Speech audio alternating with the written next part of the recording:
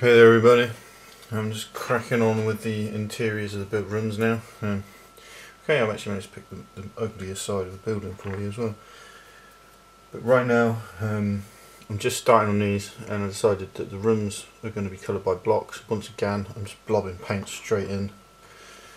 Um, partly because, well in my opinion it saves a bit of waste and partly because I'm lazy.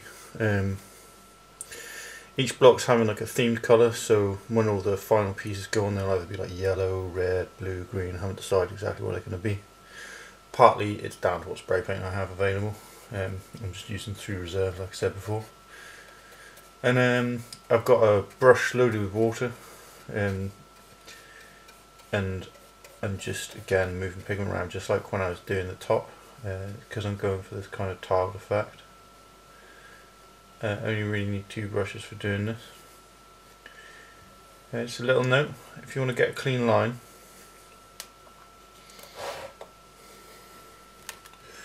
just remove all the light. Get your brush, place it, put all the pressure through the brush, and then run the brush along into the edge, and that'll give you a nice clean line. Uh, this is how you do cutting if you are literally painting and decorating rather than painting minis. You get that line and you just let the brush follow along and it enables you to do sort of perfect into the corner lines freehand without having to mask anything off. Uh, it's kind of a skill I suppose but this is, well, it's part of the skill of painting. Uh, I did actually, well, I learned how to paint from a guy called Michael Chater, right? I mean paint on canvas and uh, draw like flat painting as opposed to three-dimensional painting. And the two things are kind of different. Uh, there are similarities in places. But um, he taught me all about how to hold brushes. Like you see I'm holding the brush like this at the moment. It's because it gives me good control whilst being able to reach in. I can't remember exactly how many there are, but I think there's something like 12 or 15 ways of holding a brush, and I can't remember them all for the life of me anymore. Once upon a time I could, um, when I was considerably younger than I am now. Um, and I thought, I'm going to be a painter when I grow up, and yeah, I'm a painter. Check me out. Different kind, and in fact, in some respects I enjoy this kind of painting a bit more. So as you can see, I'm laying down quite an intense bright blue. In some respects I would like it to be a bit whiter than this, but um, this is the palest blue I have without um, messing with it, so I'm sticking with it. The other thing you'll notice is um, I'm having to, well, you might not be able to actually see me, but I'm having to stand up to get these now. The bottom balcony is a bit harder to cut in because you have to cut it in from some funny angle. These top ones, oh, they're not so hard. Uh, the other thing is, uh, just for your sake, your left hand a little bit as well. Um, if you're not very dexterous, don't use your left hand, or your offhand if you're left-handed, use your left hand. If you're right-handed, probably best not to. With a bit of practice though, you can actually get it so that you, um, at least on pretty basic painting like this, I mean I'm only laying flat paint at the end of the day, I'm not really, you know, I'm not doing anything particularly special. Also, I'm not, you know, I'm not trying to dot the eyes on a 28mm miniature. Um, that's a fun task.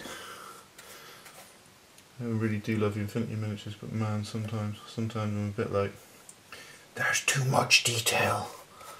Why would you do this to me?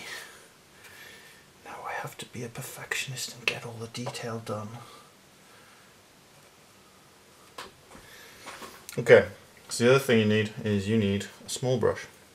And this is because my flat brush, uh, because it's not in perfect condition as well, it's a nightmare for cutting in the back corner. So you just want a little, um, this is just a, you know, a, a triple zero normal brush. And I'm just going to use that to cut in the back line. And again, you find your line, you stick to it. The most important thing when you're cutting in lines like this is that the line is clean. Ideally it wants to cover the whole floor.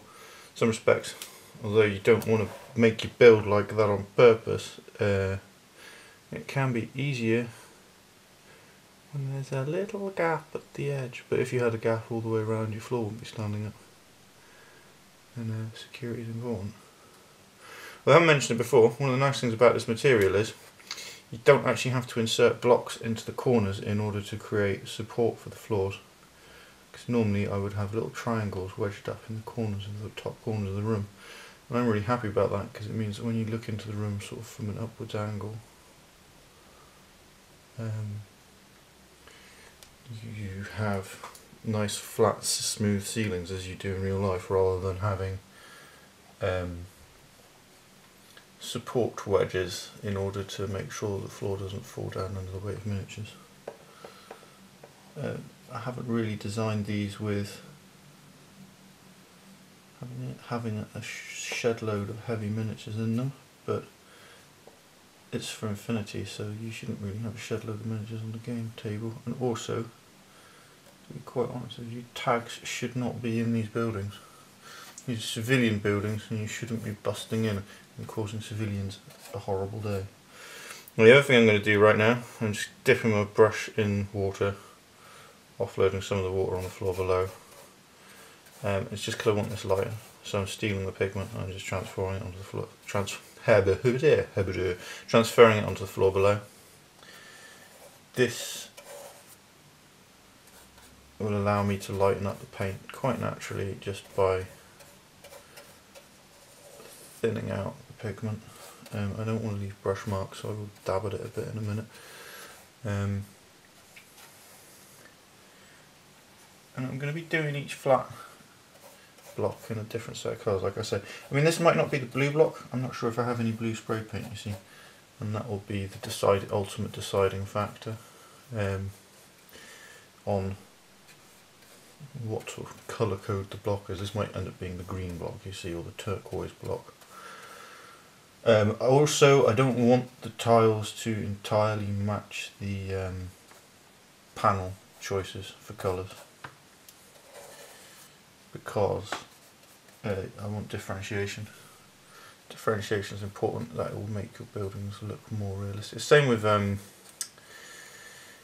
if you're deciding to make up a uniform for your miniatures, it's the same kind of rules like tops and tails, floors and ceilings. Uh, you always want your ceilings white, you always want your floors dark uh, or darker than your walls slash ceilings.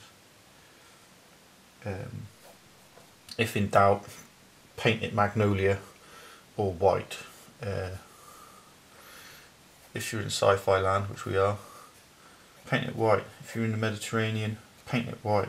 Um, that's like your adobe housing kind of stuff, which is pretty standard for the Mediterranean area, you know, your sort of deserty kind of places. Uh, you know, if you're in the older Europe, paint it grey or terracotta because we used a lot of grey, a lot of terracotta.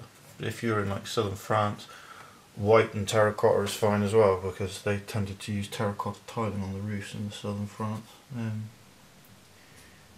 well, the places that I've seen, I've been to a few very old places. Um, like uh, some old Templar villages and stuff down in the south of France, and they use these sort of rest-on terracotta tiles. Um, terracotta, terracotta. Sorry, uh, Speak using the Queen's English. But yes, because you can just see that. Um, well, hopefully you can see it's just thinning out the colour a bit, and actually by transferring it down to the bottom, I've, I've sort of I've part filled in the bottom for colour. Uh, this pigment has very good coverage. Um, I think maybe it's just because it's blue. Blues tend to be a heavier pigment than anything else. Uh, red tends to be one of those translucent pigments. Um, so what I'll do is I'm going to crack on, I'll get all the, the, flats painted in and then I'll show you the different floor colours I've painted them in. Then I'll just show you how I'm inking them up and because again I'm going to use ink so it's much the same process I've used for the, the roof. Uh, I just want to kind of make the floors zing a bit and then I'll show you the colours that I'm using. So for instance on this one I am using Magic Blue from the game colour range from Vallejo Paints but I'll go through all this in a mo once I've got it done or I'll go through the others anyway and tell you what paints I've used for the base colour and then I'll tell you what ink I'm using so that you can replicate this if you like the effect on something that you make. Okay, catch you in a mo. Okay, so first of all, at number one we have Heavy Golden Brown from the Extra Opaque range of uh, Vallejo's paint. This is going to get a brown ink wash. At number two we have Magic Blue and this will get a blue ink wash and it will literally be a blue blue.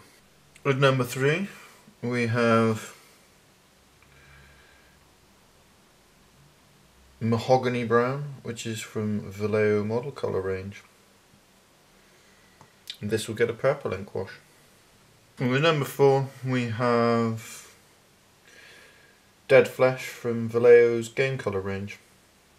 And this will get a green ink wash. Um, just a little note, I'm using kind of quite high contrast colours. It's going to be a dark blue ink wash on the light blue. I might have even gone powder blue, like uh, if you mix blue and white together basically. Uh, very light blue. I don't have any pre-mixed or um, proper paint in that colour. But other than that, um, it's just using these kind of contrasting colours and differentiated colours in order to create uh, an interesting variable texture. Just going to start laying up ink now. Uh, this is a an old Brown Games Workshop ink that I've had for millennia. I mean, I've literally I've had this for about twenty years. Um, yeah, but I've mixed it about eight parts water, one part ink. And as you can see it's very very thin. And I am in no way bothered about uh, having a high level of saturation. And it's just because I'm laying brown over yellow. What I really want is um, a highly variegated tone. Um, that is what that this will give me I may have made it a little bit too thin as you can see the ink is not gaining traction on the surface at all. What I really want is that kind of uh, 60s, 70s feel where you sort of have a very yellow tile in the middle with maybe a bit of a highlight rim around the edge and uh, brown grout or sort of brown in the gaps. So again, I'm really, really very unfussed about uh,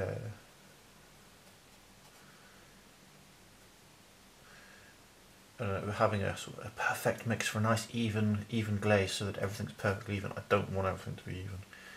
Uh, one of the errors I made on some of the rooftops of this building, these buildings in fact, is uh, saturating too much pigment.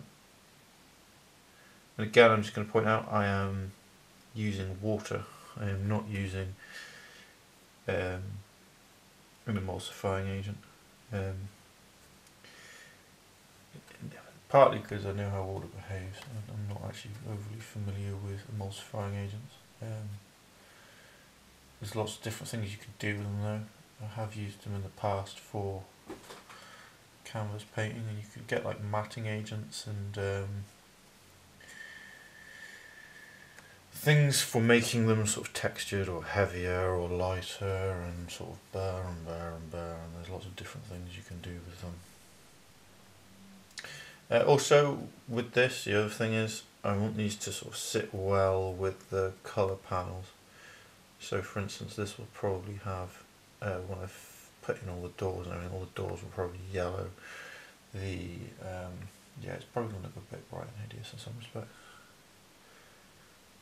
Like the walls that will go across here will be yellow, it'll have yellow doors, there'll be yellow panelling here and there. Uh, and it's just because I want each block to be sort of like, I don't know if you, you get them where you live. I mean, I live in the UK. If you can't tell by my voice, um, and it is uh, quite common practice these days in the UK. You see some really fucking, oh, pardon, you see some really ugly buildings going up and then they chuck this really brightly coloured cladding on it and because it's got brightly coloured cladding on it and it's got bright colours on it the local council goes look look it's it's wonderful and lovely. It's like no it's a hideous piece of architecture which has got some bright colours on it and apparently that fulfills a ticky box for you in your consular ignorance and uh, yeah I'll shut up now. Really ranted enough. But as you can see um, I'm putting this on quite th very thin in fact. Uh, I'm trying to move pigment around a bit here just because it might even be a bit too thin. Uh, you can see it's just sort of catching up against the wall at the back. One of the things I'm being aware of is if there are gaps, uh, this will happily run down the walls. And I don't want it to run down the walls because I don't actually want to paint the walls or the ceilings on the interiors. I'm just going to leave them white. I'm quite happy to do that because um, well, I kind of like to get to the point where I'm actually showing battle reports. And I need these four set battle reports because right now, well, I mean I could do battle reports in wood. I have a load of trees. Um, also at the moment I am doing this but I, I also need to paint my JSA so I have multiple factions so I can start actually giving you the battle reports. But yeah, you can see it's just very thin. Um, in fact I might chuck away some water and chuck a little bit more ink in. Um, let me just see. And it's given a bottle shape it's an old GW pot you see. Um, I'm taking a lid off and I'm just going to dab my brush directly into it. I just want to pick up a little bit. Too much maybe. Run that in with the, just using the um, ink mix and then see it's, it's just uh,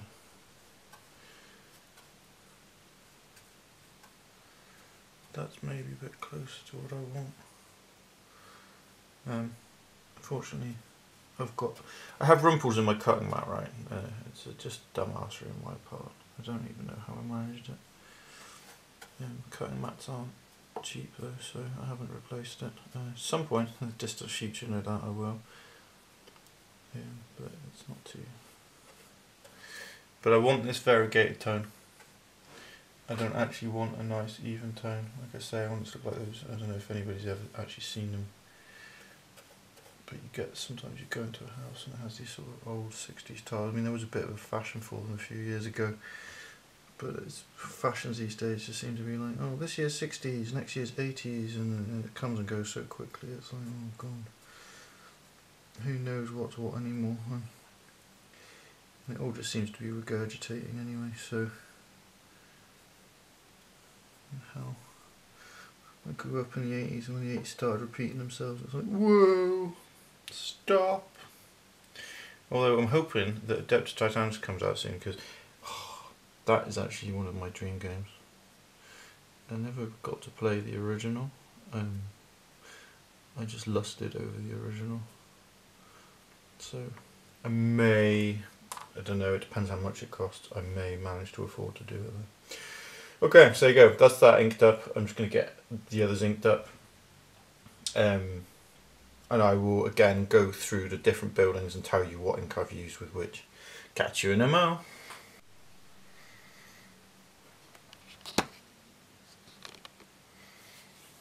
Okay, so number one we have Skank Brown. It has come out really Skank Brown, but by the time of putting the walls and that, and they'll be like a bright yellow, it'll actually sit all right together. Um, not totally happy with the finish. Um, but I'm not going to faff with it anymore because time constraints. On to the next one. So here is number two in blue.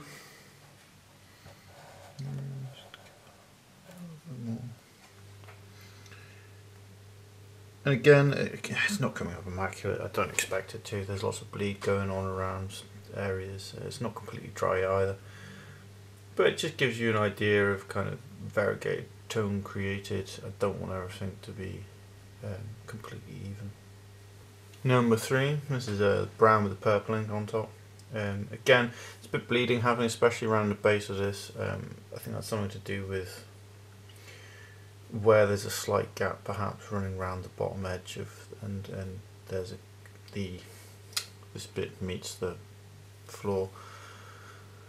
Um, it's just causing some tension in the ink, which is causing pigment to gather to it. But again, it's just it, I'm quite. This is probably the one I'm most happy with in some respects, actually. Um, this one and the next one, where it's created like I like the purpley browny combination.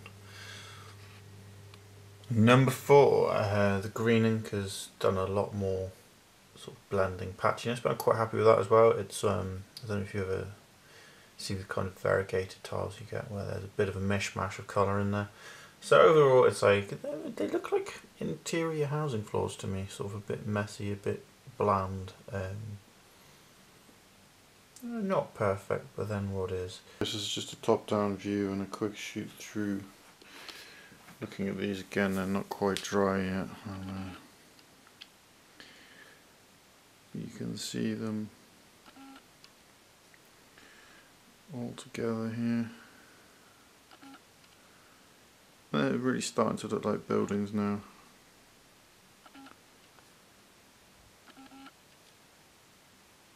Each sort of stage, bringing them back together. So I hope that this has been of interest to you. That you've found this of some use. Yeah, they're just on a carpet on my floor.